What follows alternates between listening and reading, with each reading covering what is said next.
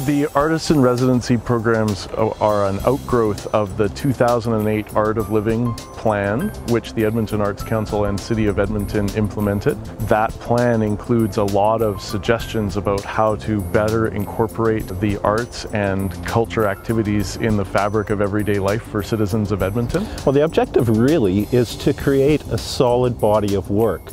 Um, to interpret the stories of the people who work in the urban forest who make the city beautiful. And it's not just the, the, the trees in the river valley, actually that's a very small part.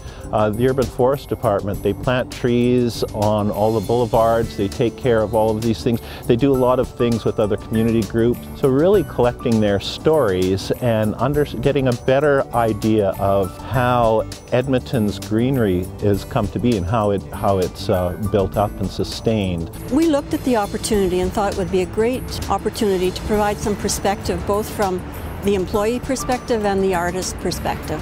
The artist can see things in the workplace that the employees maybe on a day-to-day -day basis take for granted and he can illuminate that and make them proud of what they do on that day-to-day -day basis. When I first heard about the Artist in Residence, I thought it would be a really great opportunity to gain the perspective of a painter or an artist and um, incorporate some of the things that we do um, in the forestry department and um, in managing the urban forest. My body of work will be of all of the stories that I collect. Some of the paintings are people actually working, doing their job. Others are just the, the forest that's, there's so many places in Edmonton where you can go and look around and you can't even believe that you're in a city of almost a million people. Edmonton is such a great city, especially for all of our environmental initiatives.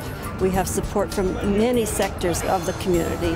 I think the benefit for employees at the city is the opportunity to see an artist at work and be exposed to the artistic process. I understand Jeff is also offering some formal and informal classes for, uh, for the workers at the Westwood facility and the urban foresters. It's really an opportunity to both observe and potentially absorb some different ways of working with certain projects that could be constrained by budgets and funding. It's interesting, you begin to see the river valley in a very monetary sense and sometimes you have to kind of step back and really gain the core values that you once had, the intrinsic valuation of, of the forest and trees.